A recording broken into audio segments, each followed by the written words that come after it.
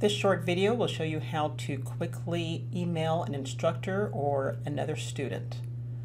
So once you're logged into PAWS, you'll want to go to a specific class.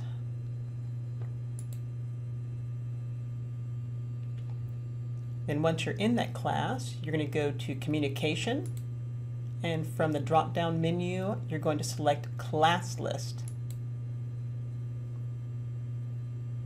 And on the class list, you'll see there's a few tabs across the top here. One is all, the other one's students, and the other one is faculty. And to quickly, if there are more than five or six students in the class, to quickly find the faculty member, you can just click on the faculty tab.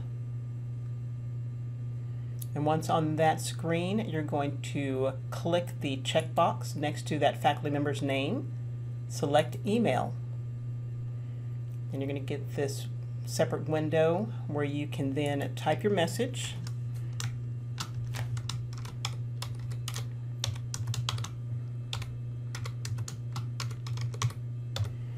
And you can also change the subject line to be more pertinent to whatever your situation is. And you'll see that the instructor's name is already populated right there. And it's going to automatically send you an email so you don't have to put anything in the to. And once you have your email composed, you're just going to click on the send button.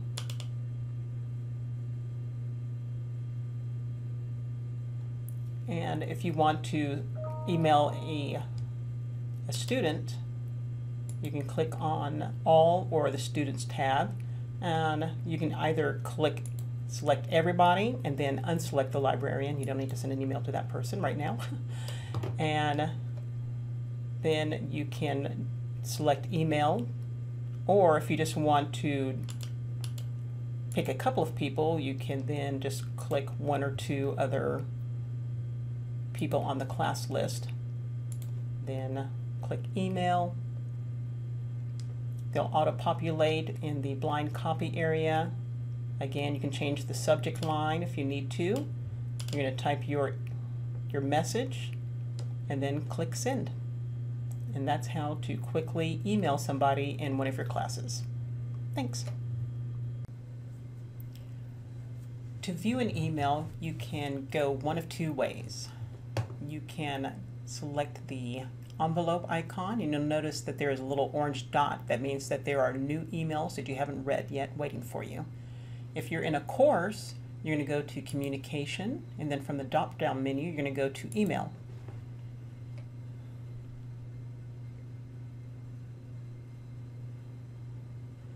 And this should take you to your inbox. And anything that's not read yet should be bold, it should still be bold. And we are going to click on this email. And in the lower half is where you can reach your email. So make sure that you can see that this will let you maneuver it up and down. So if you don't see your email, make sure that you can pull this up so that then you can view your email.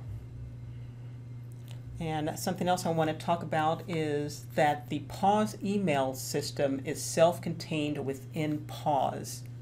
You cannot email Yahoo, Gmail, southwest.tn.edu, or any other email. You can only email someone within the PAWS system. And a little earlier I showed you how to do that by going to the class list. And also you will see if you go to the a course homepage, over on the right hand side there is a little widget for Office 365.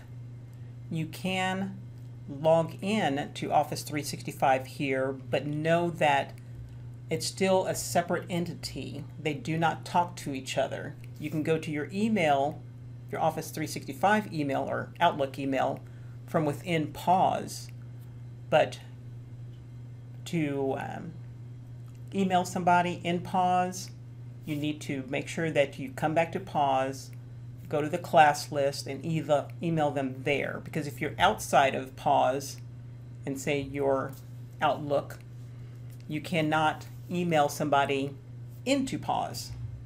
So they're two different entities. And the only caveat with this is if you are trying to upload an assignment to a folder, if you are logged in, or even if you're not logged in yet, you can, let's go to a folder.